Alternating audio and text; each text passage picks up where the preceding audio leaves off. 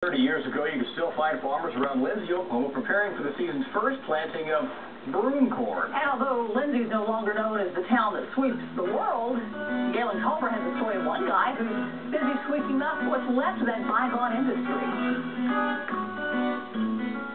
Look west around the town of Lindsay these days, and you'll see a lot of pasture land, some cotton patches here and there, and maybe a little winter wheat for the cattle to graze on. Found it? Yep. Everybody was into the broom corn one way or another. But if you want to find anything left See connected to what was once the me. big cash crop around here, you'll have to get Carl Dutton to open his barn door. This is a broom corn baler, thresher. The broom corn, we got four bales of broom corn that we grow. Inside are a bunch of old tractors and the salvaged remainders of an industry that died out a quarter century ago. All you need to grow and harvest you take the broom you cut it down, and as you take it, it runs through right here and cuts, takes the straw out as it goes in there.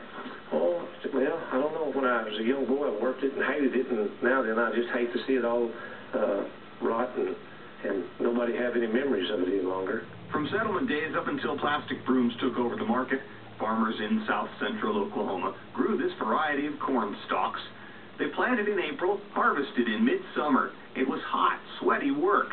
Carl and his big brother grew up in it. It was a lot of hard work. That's all it was, is just pure hard work. Shortage of labor, plentiful substitutes, not many fond memories. Carl Dutton is one of the only guys around still interested in saving this part of Oklahoma history. That may change sometime, but until then, Carl will keep his barn and his few remaining bales safe. I really enjoy it. I'm thankful to have it. In Lindsay, Galen Culver, News Channel 4. Is this a great state or what? Thank you, Galen. Now, Dutton and friends actually grew a few acres of broom corn a couple of years ago. Yeah, the old Balers out recruited as many of the old Johnnies as they could find for a demonstration.